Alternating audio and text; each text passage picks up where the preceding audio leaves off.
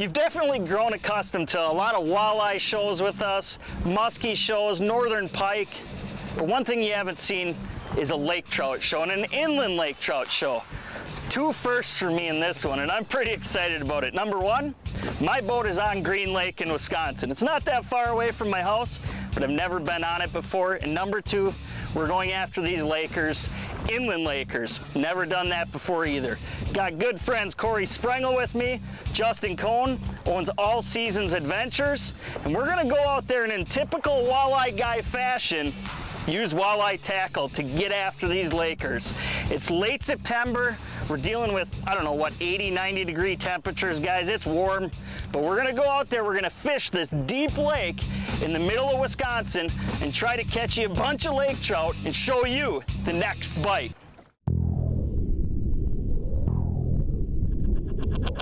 Just looking for the next bite, next bite. Just looking for the next bite.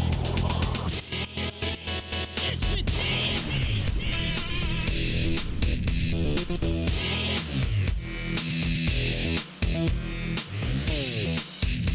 able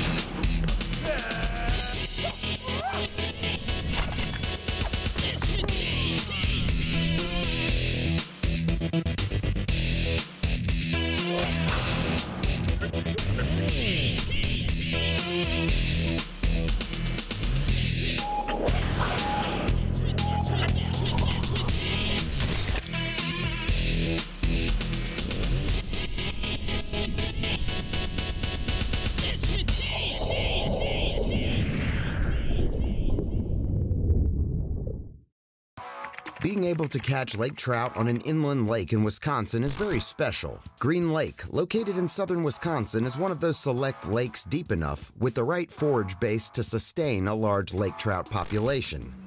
Oh, I missed one. Oh, he's still down there. Oh, there. Oh, man. Just hit mine, too. Can't live on bite soup, guys. Come on. Fall fishing for Lakers is even more unique, as it's the time of the year that lake trout are spawning. Sweet. Which means the potential for catching big females as they move inward towards shallower water. Look at that fish. oh, that's a beast. Of course, a huge bonus is that they like to feed along the way. So we're on Big Green Lake. It is the deepest inland lake in Wisconsin. It has an excellent trout stocking program. I know 20 years ago they were putting 50,000 baby trout in in the spring. They always release them in April.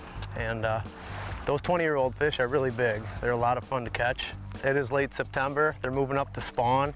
They were summering out in the 150 to 180 foot with all the Cisco's, eating very good. And now that they've moved into 70 to 90 feet to get ready for their spawning movements, a little more grouped up and easier to target. It's a lot of fun. We're just bombing around and snap jigging them up with bass and walleye tackle. It's a great time.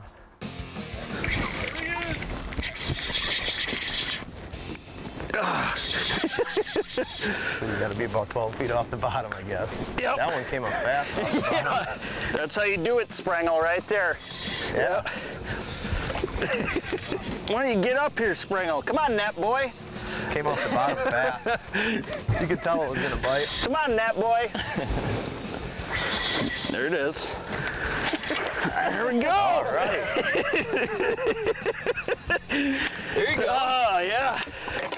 It's fun. Ooh. what is that? He's burping a What, little bit. what is going on? Air bladder. More pressure in the air bladder coming That's out of 90 fun. feet. you know what? It's just a start, but it's uh, it's a lot of fun. Just smoked it too, about 65 feet down. It's like ice fishing. It you is. watch them on the graph come exactly up. like ice fishing. You know, awesome. The next bite is brought to you by Mercury Marine. Go boldly. Tracker boats. Fish the finest. Bass Pro Shops. Your adventure starts here. Berkley. Catch more fish. And Motor Guide. Accuracy matters. Closed captioning for the next bite is provided by PowerPole, the ultimate in shallow water anchors.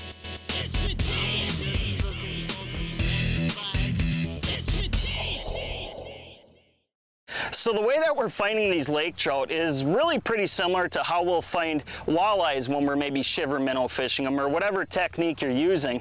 But we're simply using two different people. Korey's sitting at the console and he's focusing in on these break lines. Maybe it's a big point, maybe it's a tight shoreline break, and he's driving around looking for a pod of Lakers, 70 to 90 feet of water roughly. And what we're looking for is four, five, six of them all together, big yellow marks. When we get directly over the top of those pods, he'll drive over them, he'll actually back up right over the top of them so they can see him real clear on the unit back there, and I'll hit anchor mode instantly up at the bow. I'm actually using 200 frequency up here, so my cone's a little bit narrower, and that's gonna allow me up front to basically ice fish these Lakers. You can see that shiver minnow go down, you can make sure that you keep those baits above those fish, and when there's four, five, six of them, they're actually gonna compete for that bait, and a lot of times they'll come up, they'll go back down, and another one will come up and smoke that bait. So it's a lot of fun, but instead of looking at pods moving off of them and casting to them, we're simply staying right over the top of them with anchor mode. And I'll tell you what, when one hits, hold on to that rod. With these inland water lake trout moving in pods during their fall spawning pattern, once located, it isn't uncommon to get doubles or even triples on the line at once. Uh-oh, double? You Big one, two? big one. You know it's a big one right away. Oh, oh, it's a good one. As you angle right over the top of them simultaneously, it can help you and your friends gauge which lure actions are seemingly working better, or even which pods appear to be feeding more aggressively from the start. Oh, Look at that. Just drag burners. Look at that. They are a, ba- a Oh, blast. they are they're mean when they when they hit. Oh, this is so much fun. Thanks for inviting me. No problem. No problem. Thanks, for, net- thanks for letting me net all these fish for you today. Like other species of game fish, lake trout can sometimes swipe and miss. What do you got there, Korey? I think it's gonna be a big lake trout here, You Chase. You think so? So using a no stretch line is important for feeling near misses and adjusting your action accordingly. I'll come back there. All right. you letting it work you over? Just a little bit, but I'm giving him the business. Still, however, keeping within the confines of your normal gamut of walleye and bass tackle. I had him coming so good, too. Yeah. it looks like you have them coming really good right now too. Every time we catch a glimpse, he just decides that the bottom is a better place. Look at all those bubbles coming out. Oh yeah, look at that. there he is. Oh yeah. Oh yeah, that's a beauty. Come on, Chase. Oh yeah. Dandy. That one's heavy. look at that. That thing is a healthy fish. I would say so. No, I don't think you were gonna lose that one, Korey. oh man, that's a good fish. It is a good one. Lasso it up in the net a little bit. That's a good one. That one's healthy. It is.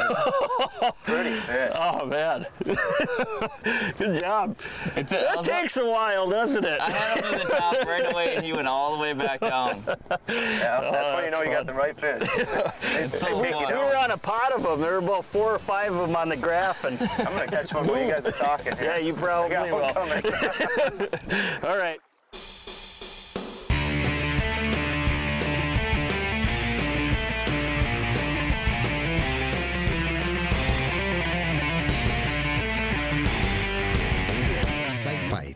Real time fishing information from all the pros in one place at walleyechatter.com. How we have our unit set up today for lake trout fishing is definitely a lot different than I would uh, if I was out walleye fishing.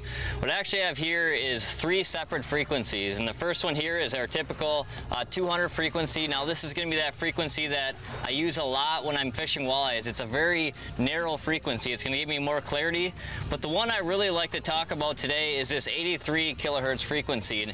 Now that lower number is a lot wider band of sonar, so the 83 kilohertz is going to show me more fish, Know, once we start to locate where these groups of fish are holding, you want to try positioning your boat right over top of these fish. So that's when I'm going to refer back to my 200 kilohertz. It's a narrower band. If I can keep it, the top of those fish right over that 200 kilohertz, I know I'm going to be a little bit closer to underneath the boat. And if I really want to dial it in when I'm actually vertical jigging, I have the, you know, the structure scan here, down scan. Now, if I'm marking them on the down scan imaging, I know they're right underneath the boat. Because if we just stuck with the 83 kilohertz, you know, that fish could be almost 20, 30 feet away. You know, we're a long ways from that jigging in this deep water like that, so it's hard to keep vertical and cover ground. So I, when I drop in on top of fish, I want to know they're right underneath the boat when I drop my lures. While perhaps most widely associated with grandiose fisheries such as the Great Lakes, Lake Tahoe, or Lake Geneva, lake trout, who are known by many names including freshwater char, togue, or mackinaw, are also sometimes found in some prized, smaller deepwater inland lakes like Green Lake in southern Wisconsin.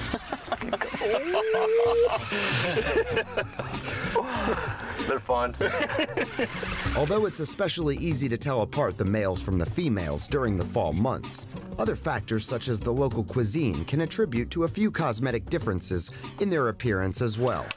A little skinnier one there. Is that a male, you yeah, think? Or? that'd be a male. This is one of the ones that are potted up around all those big females. So some of them have the orange on the fins here. I see some of them have the white fins more. Is there two different strains, or is Yeah, I think there's different strains. There's actually a lot of different strains, and then I know that there's a lot of freshwater shrimp in here too, so that Okay. probably gives them a little accent too.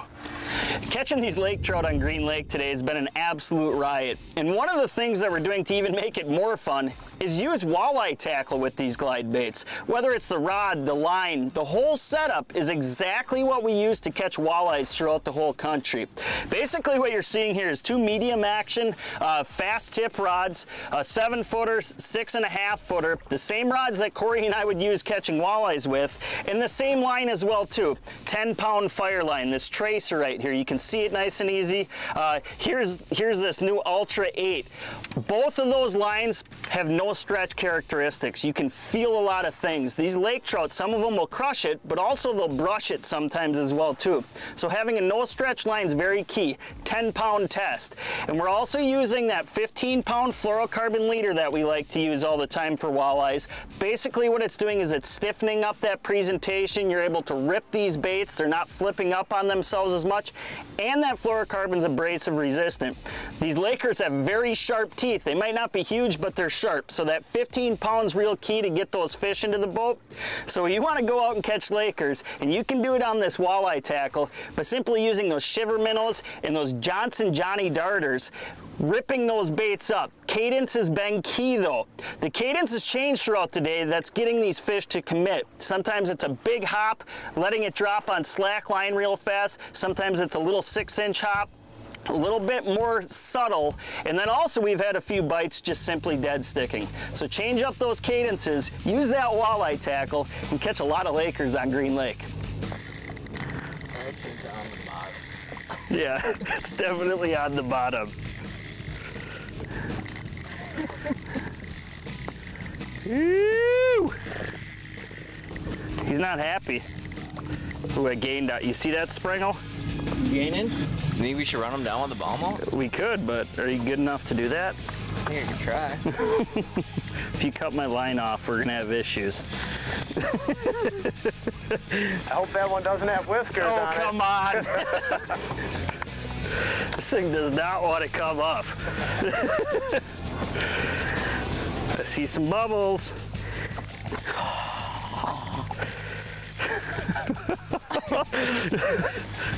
I'm gonna need a, I'm gonna need a nap after this. He's got to be right here. The line's moving a lot. I see him. Yeah. Yep. Oh yeah. Oh, oh yeah.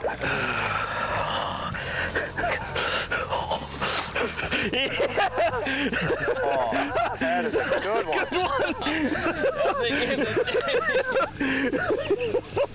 Oh man. I can't even hardly hold him. I'm Is, is, I'm you sore. shaking a little bit.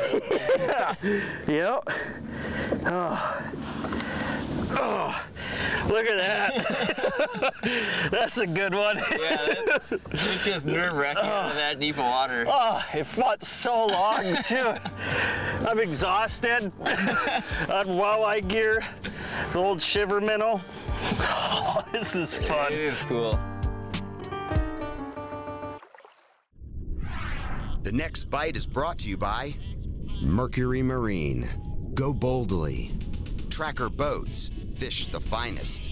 Bass Pro Shops. Your adventure starts here. Berkley. Catch more fish. Lowrance. Find, navigate, dominate.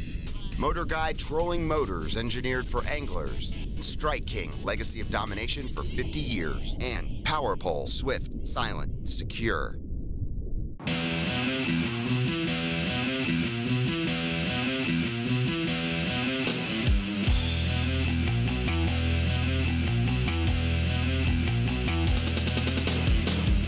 Topics, leading information, and tackle and techniques to make you a better angler. Presented by Mercury.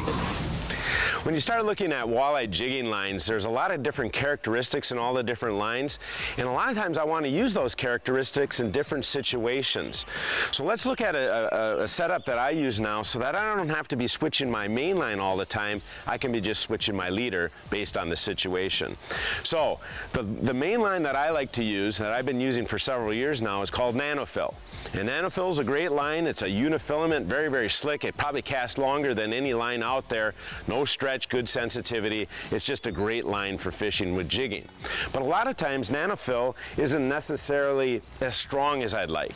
Uh, it's very, very close to its true pound, pound test. A better line that's even stronger is Fireline, and I've used a lot of Fireline over the years. The good thing is that there's a new Fireline out. This is called Fireline Ultra 8.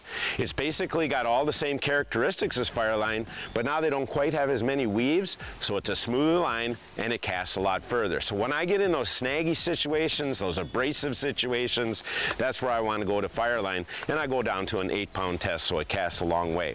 Now, once you have that main line on there, you don't have to switch it.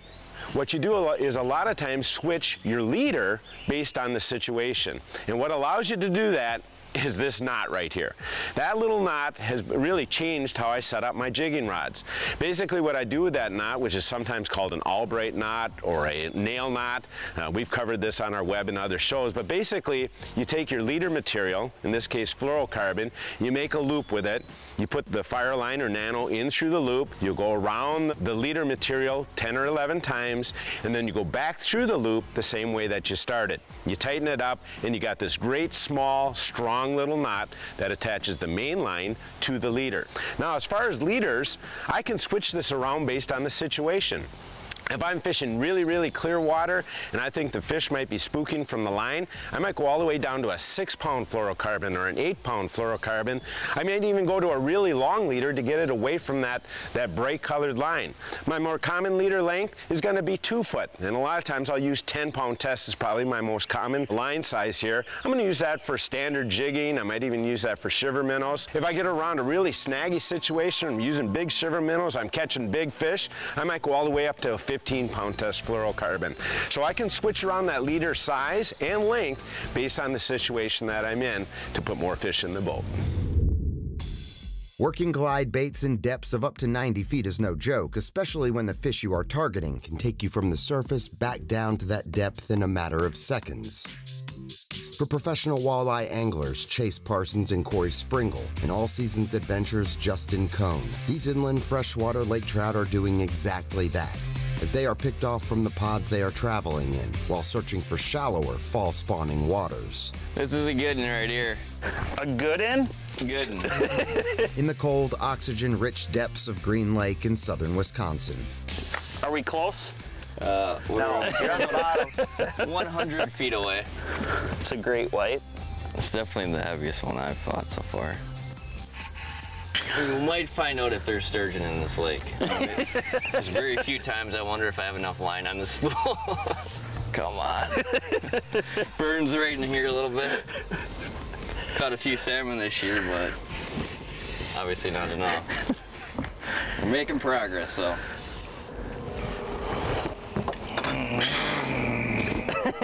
What was that?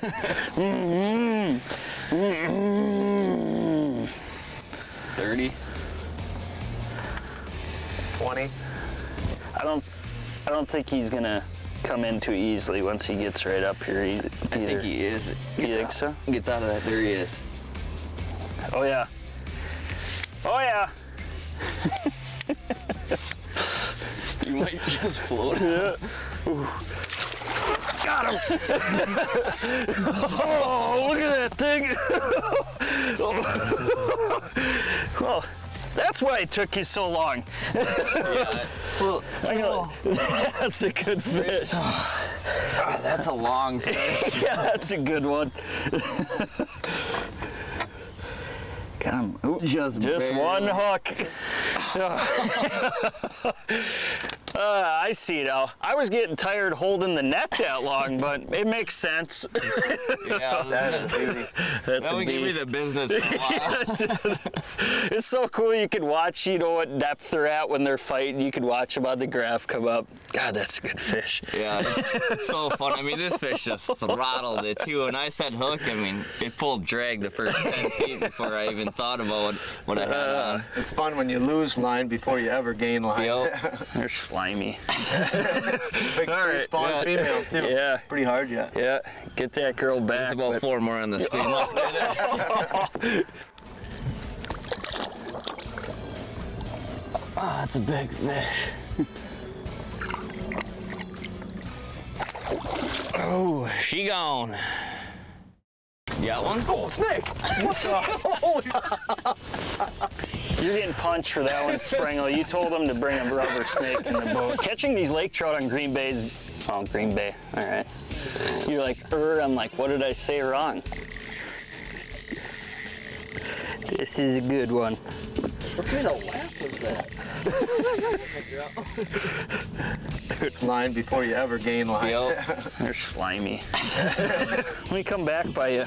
Keep your fish away from mine, okay? Hey, stay away from me. Is that you? Oh, I think we're into each Yep. other. Yep. Yep. All good. Stay hot, boys.